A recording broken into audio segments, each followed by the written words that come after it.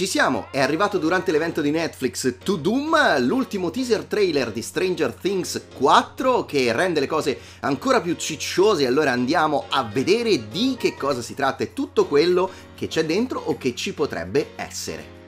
42.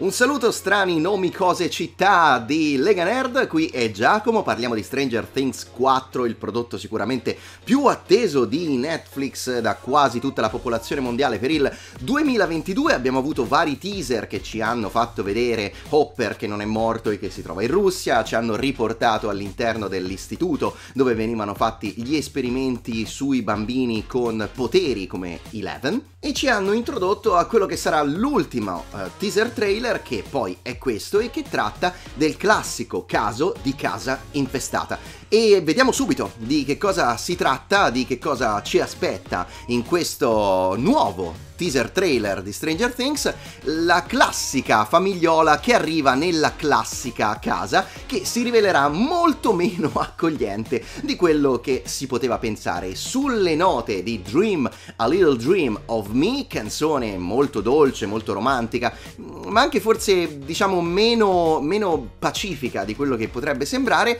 la Krill, fa- la famiglia Krill, i Krill arrivano in questa nuova casetta, da notare che è il 1969 perché lo abbiamo scoperto dai precedenti eh, video che ci hanno fatto vedere dei ritagli di giornale.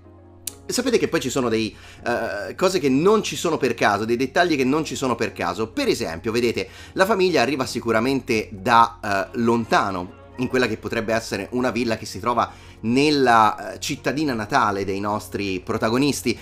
I trasporti si chiamano Mayflower e chi è appassionato di storia, non soltanto americana, si ricorderà che la Mayflower è praticamente la nave che portò i pellegrini che arrivarono in America e che si stabilirono lì all'inizio. Certo, anche una storia non proprio piacevolissima di scontri anche sanguinosi con i nativi del luogo. E se vi ricordate la storia dell'horror, se avete vissuto o se avete recuperato un po' di film degli horror degli anni 80, sapete benissimo che i nativi americani solitamente sono molto incazzosi e molto vendicativi, ok? Quindi Mayflower potrebbe essere, ok? Un indizio, come no, potrebbe essere anche semplicemente una citazione del fatto che potremmo vedere il rapporto della casa infestata con, ora anche se non fosse costruita proprio so- sopra un cimitero eh, dei nativi americani come in altri film, tipo Poltergeist, che sappiamo è uno dei pallini dei Duffer Brothers, gli autori di Stranger Things, tanto che lo hanno citato molte, molte volte durante ehm, le stagioni, ed ecco la nostra famigliola felice, tipicamente americana, padre eh, madre, figlia e figlioletto, tutti vestiti con comunque diverse gradazioni di blu, di azzurro, questo colore della speranza, del cielo, del mare, della novità, della serenità, eh, che naturalmente sarà turbata, no? Eh, eppure la casa all'esterno sembra azzurra, pacifica, bella, bianca, ok? Entriamo dentro è da notare che anche qui i dettagli eh, si sprecano no? Eh, non a caso, c'è questo, eh, questa vetrata, questa vetrata con una rosa, che come sappiamo la rosa bellissima, colore della passione, eh, rosso dell'amore, ma anche sappiamo le spine, ok? Quindi naturalmente sappiamo già che probabilmente quella porta ci porterà in un mondo di qualcosa di, di piacevole, una nuova casa, ma anche probabilmente qualcosa che ha le spine. Le spine che cosa sono? Il padre, il padre famiglia eh, Krill, nota subito che c'è qualcosina che non va, un rumore, boh, e anche il figliolo sembra dire, mmm, che sta succedendo? Ta, ta, ta luci che lampeggiano. E allora noi sappiamo benissimo che quando ci sono le luci che lampeggiano significa che c'è qualcosa che non va. Stranger Things ha fatto delle luci che lampeggiano il... Um, il simbolo, l'annunciazione eh, del sottosopra o comunque di qualcosa che dal mondo di là arriva nel mondo di qua e solitamente è qualcosa che non è mai eh, piacevole da, da, da sperimentare. Tanto è vero che poi la bambina che scende le scale eh, trova, immagine piuttosto forte, un coniglio morto, ma non morto in maniera naturale, naturalmente morto, esploso dall'interno, a quanto sembra. Esattamente come abbiamo visto diverse volte nel corso delle serie precedenti, magari altri oggetti che venivano sventrati dall'interno, tipo le zucche del, del campo di, di, zucca che trovava Hopper, no? Sicuramente ve lo, ve lo ricordate questo, questo dettaglio. Eppure l'erba intorno al coniglio non sembra passarsela bene. Altra sequenza, altra scena, la famigliola che mangia tranquilla, mm, ma c'è qualcosa ovviamente che inizia a non andare tipico.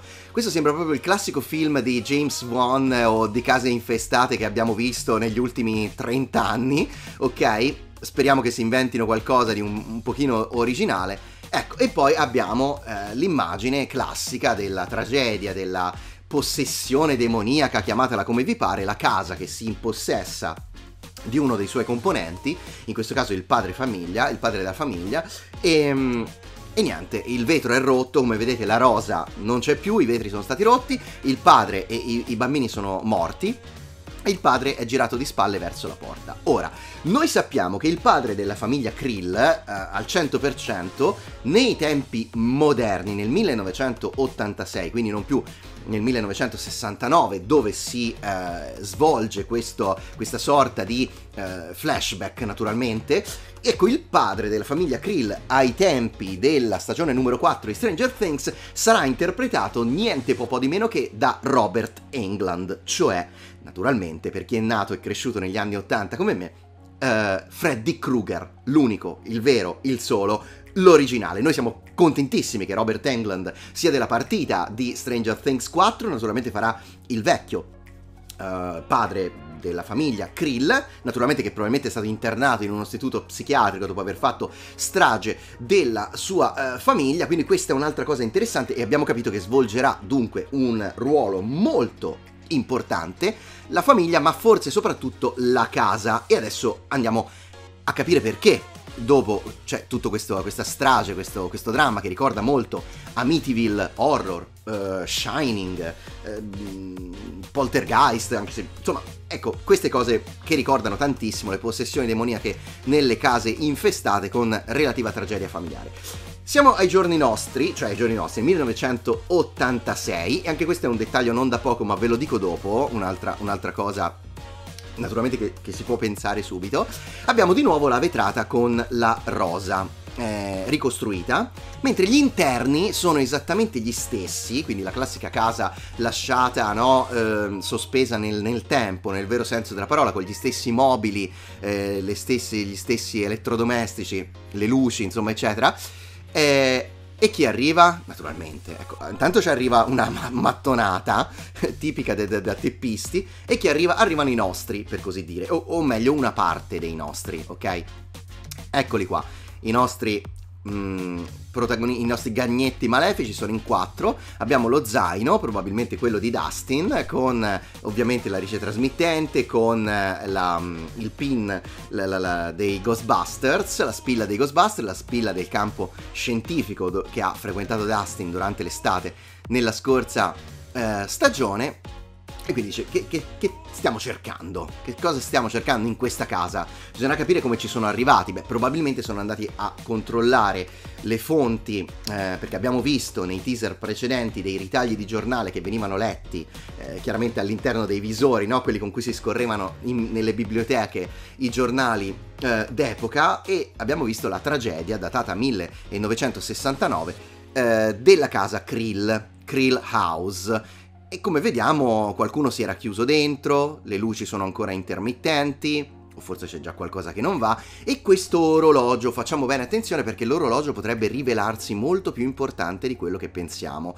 Tanto è vero che sembra osservare i nostri ragazzi e ragazze che se ne vanno su per le scale. Dustin cita Sherlock Holmes, Sherlock Holmes direttamente dal mastino dei Baskerville, eh, la storia dove appunto si pensava che ci fosse anche lì una possessione demoniaca, un, un cane posseduto, eh, demoniaco, eccetera, e, e un mostro che poi invece si rivela, vabbè, se non l'avete letto il mastino dei Baskerville andatevelo a leggere. E qui abbiamo il nuovo look dei nostri protagonisti, eh, sempre molto anni 80 E niente, il siparietto naturalmente con le citazioni che non mancano mai e poi questa scena che potrebbe come non potrebbe essere presente nella serie, questo sembra più un qualcosa buttato là per fare effetto e lanciare il titolo finale, come vediamo ci sono diversi oggetti, la culla, anche questa tipica delle case infestate, la la, la, carrozzella, anche questa tipica i vestiti, la luce che filtra, le poltrone, insomma. E questo orologio, questo, questo pendolo, questo pendolo gigantesco che sembra annunciare qualcosa di non molto buono e forse anche che il tempo avrà qualcosa a che fare con la, questa stagione. Eccolo qua, eh, il, il sottosopra che fa capolino nel, in questa mansarda e, e, abbiamo anche, insomma, sembra il Mind Flyer, no? le apparizioni del Mind Flyer nel, nella seconda stagione e questo orologio che inizia a muoversi e a rompersi, quindi credo che questo sia una, una clip, un qualche secondo creato appositamente per questo teaser trailer, però il fatto che l'orologio si rompa si fermi, insomma 2022 è quello che ci aspetta su Netflix, ecco c'è qualcosa che ha a che fare con il tempo. Siccome abbiamo visto diversi flashback annunciati sull'infanzia di 11 all'interno del, dell'istituto dove era eh, naturalmente rinchiusa per sviluppare i suoi poteri e, e forse scopriremo qualcosa di più sul sottosopra, chi lo sa però questo orologio sembra davvero annunciare un mistero, come vedete no? anche le piante rampicanti sopra, eh, que- quella classica sensazione di devastazione che vediamo quando i protagonisti si trovano nel sottosopra, ecco, potrebbe essere qualcosa che ha a che fare con il tempo, con lo spazio e col tornare indietro o col fatto che il, il Uh, il sottosopra sia forse non solo un qualcosa che ha a che fare in maniera alternativa con la nostra realtà, ma forse una proiezione della realtà nel tempo. Uh, dicevo del tempo perché 1969-1986, quindi dalla tragedia della eh, villa Krill, della famiglia Krill al giorno d'oggi, 27 anni. 27 anni vi ricordate che cos'è? Naturalmente sì, It, le apparizioni di It di Stephen King, It compare ogni 27 anni, quindi anche questa è una citazione molto sottile, molto interna, però ecco, è giusto ricordarla. Allora, che ne pensate di questi teaser trailer e di questo ultimo teaser trailer di Stranger Things che abbiamo visto? Pollice su se ti è piaciuto questo video, anche pollice giù, tanti commenti, diteci cosa ne pensate, cosa vi aspettate e eh, che pensate che ci sia in questo teaser, se ci avete visto qualcos'altro, iscrivetevi e naturalmente attivate la campanella. Noi ci vediamo alla prossima, ciao da Giacomo. È arrivato durante il To Doom, l'ultimo. È arrivato durante l'evento di Netflix, Netflix